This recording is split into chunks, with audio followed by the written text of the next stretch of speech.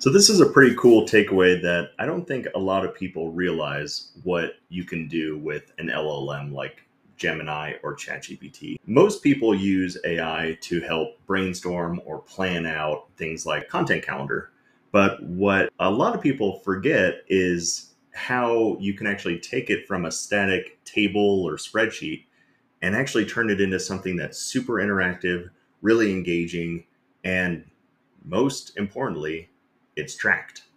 So check this out. On my screen here, you can see I actually have a pretty standard table that is our content calendar. I've added in a few different components into this. So basically, I'm following a cadence of what is it? A um, number of reels, blog posts, one newsletter, and then I think five social posts.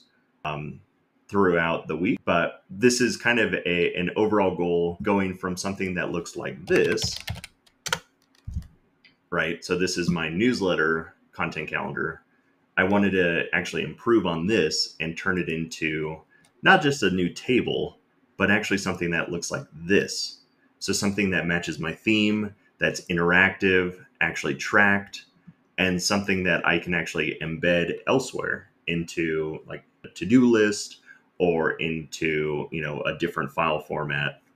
And keep in mind all of this is actually built in in this case gemini just through vibe coding i guess if you want to call it that talking to an ai model and saying hey go from this word doc or this google doc and let's actually make it interactive. So this is really next level stuff going from a ai generated fully vetted content calendar to a highly customizable web page or infographic, quiz, or even like a podcast, being able to take a static document and make it into something that's highly inter- engaging and interactive for your audience, that's next level stuff. It's pretty remarkable how fast AI is moving, especially when it comes to the capabilities and the uniqueness that it really gives anybody. You can take your homework assignments or your quizzes or you know that your PhD thesis that you've been working on for forever and really put it into a